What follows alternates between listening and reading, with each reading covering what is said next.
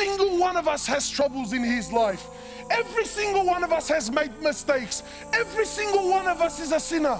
And every single one of us is hopeful and wishful that when I stand before Allah on the day of resurrection, Allah's gonna turn a blind eye and forgive all my sins.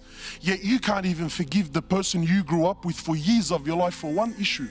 You can't even forgive. And people tell me, brother, but it's my haqq, it's my right.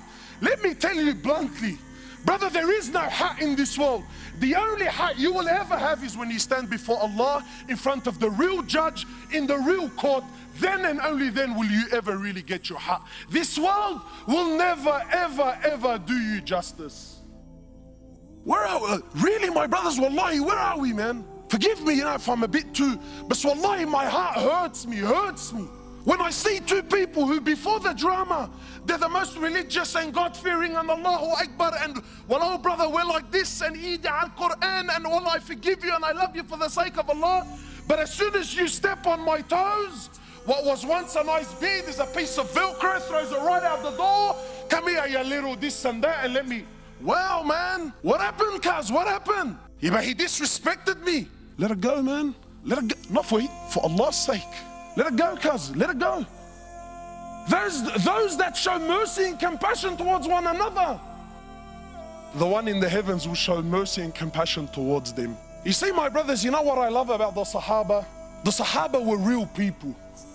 Many of us, we like to praise the Sahaba so much so to the point where we start painting this picture like they never did anything wrong. Well, you're very wrong. Sahaba did a lot of things wrong, but that's what was beautiful about them because they made mistakes. Then the way they dealt with their mistakes is what makes them so special and so unique. One particular incident after one of the battles, there was booty of war gold, silver, swords, shields, stuff like this. So the Sahaba gathered, there's a lot of it, it's money.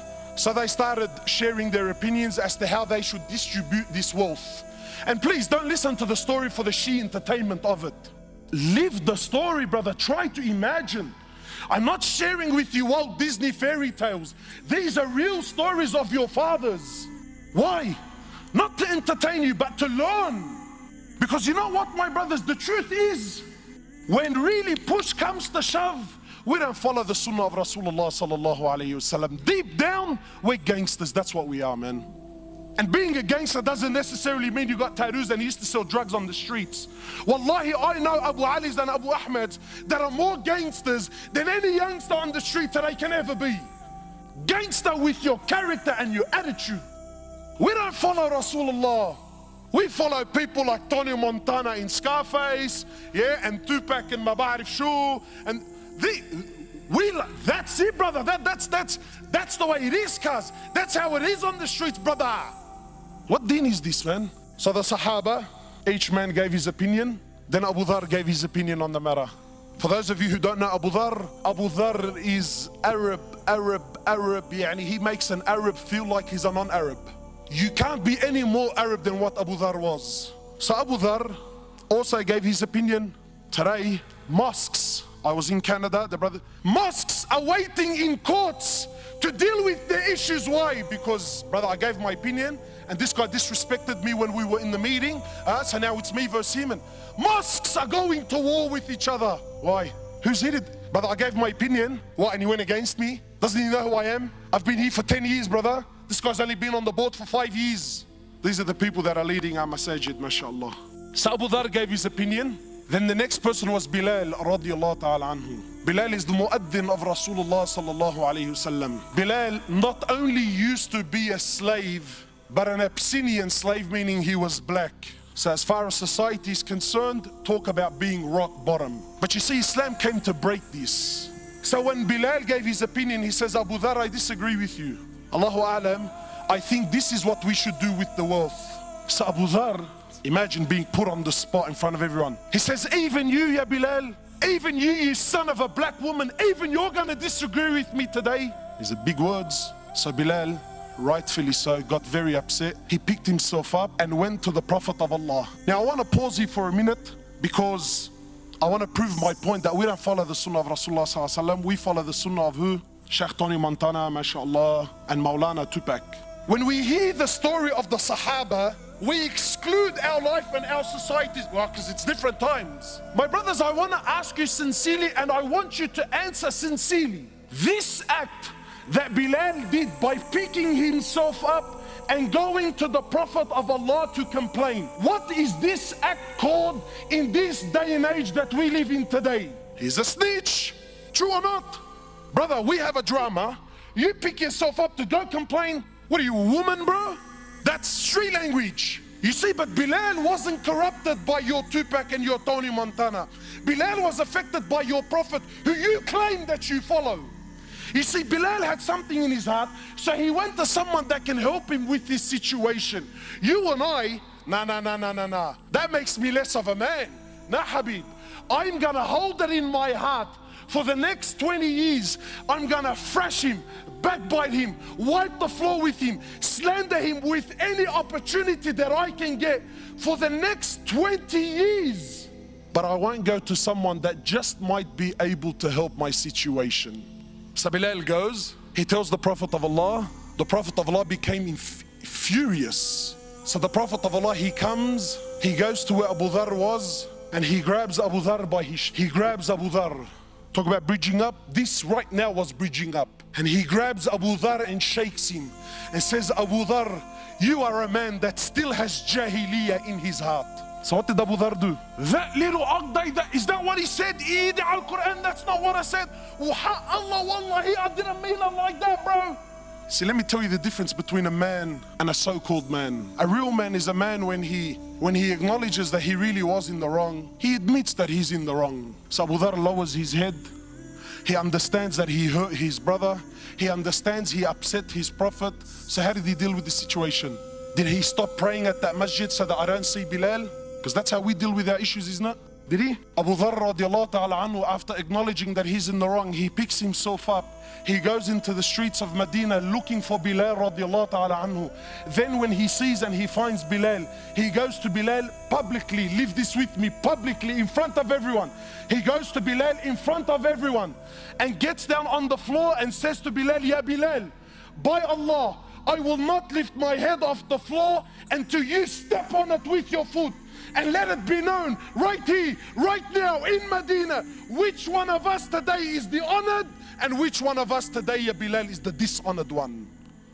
Come on, man. How come I haven't heard this story before, bro? So, what did Bilal do?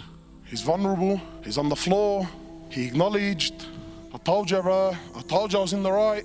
What did he do? Wallahi, an opportunity that most of us would love to have with those that hurt us. You see, real forgiveness is to forgive from your heart sincerely, whether you can do something about it or you can't. You see, there are many of us who have issues and dramas with other people, and we paint on the outside that, nah, brother, wallahi, man, I forgive him for the sake of Allah. You little kazzab, you little spinner.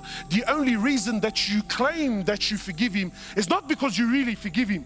The truth is, is you can't do anything to this guy anyway. So really, by default, by the fact that I physically can't do anything, I disguise my weakness with what? Nah, wallahi, bro, I forgive him for the sake of Allah. But deep down in your heart, deep down in your heart, if you got the news that a bus hit him, ya bayya, your heart will start to do the dabki, bro. So some brothers tell me, you know, cuz, listen, wallahi, bro, wallah, wallah, you know, I forgive him. Wallahi, I forgive him. But I don't forget, cuz. Wow, mashallah, really? You forgive, but you don't forget? Well, I got news for you, bro.